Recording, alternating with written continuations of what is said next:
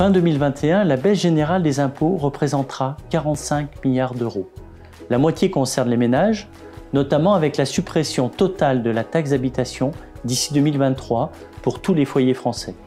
Et l'autre moitié représente les entreprises. Malgré la crise, le gouvernement a fait le choix de diminuer à nouveau les impôts de production. Aujourd'hui, nous avons plus que jamais besoin de relancer l'économie de notre pays. La fiscalité de nos entreprises est trop contraignante et elle pénalise leur compétitivité.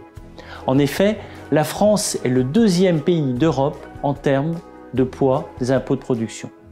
Sur les 100 milliards d'euros que représente le plan de relance, 20 milliards d'euros seront spécifiquement dédiés à l'allègement des impôts de production payés par les entreprises.